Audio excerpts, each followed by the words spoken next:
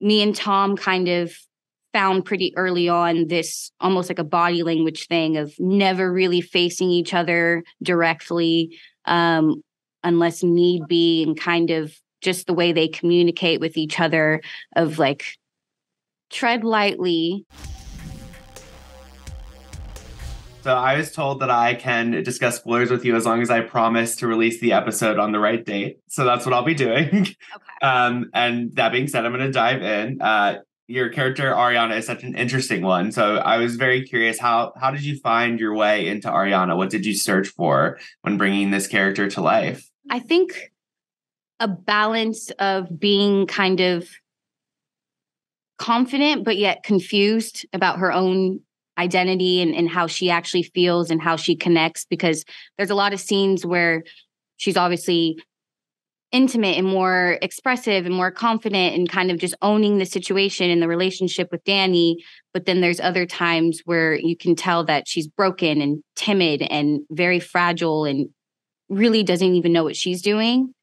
But then yet she's calculated at the same time, but in the most subtle way. So trying to bring all those together per second is, you know, it's uh it's a wild journey, but um I, I like that kind of challenge. Did you make up a backstory for her? Did you kind of try and dive into what this deeper meaning of Ariana was and and where she maybe had come from if she had been real? Maybe it was just more so like clearly there is trauma here. Clearly there is um, an issue with attachment, which keeps her detached.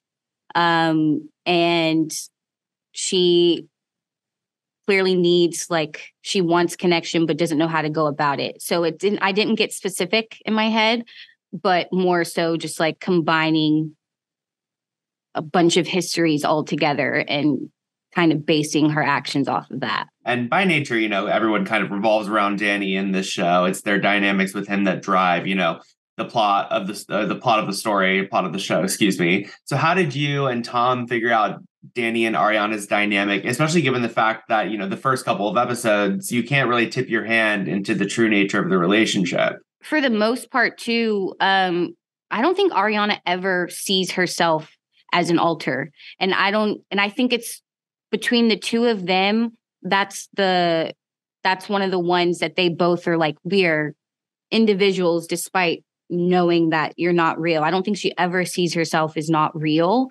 Um, and if she does, it kind of it, it's not as important. Um, and I think me and Tom kind of found pretty early on this almost like a body language thing of never really facing each other directly um, unless need be and kind of just the way they communicate with each other of like tread lightly but at the same time we're going to dive right in you know? So um they they have like their little boundaries that they lightly play around but they're the most i think connected so yeah. You and tom have something in common that you've both been you know in the mcu not together but you know you've worked in that space. So was that something you guys bonded over? And was it a relief to be like working so directly together on something much more like grounded like the crowded room i feel like i've had like you know my dip in the pond of it. So it's definitely not to the extent of Tom.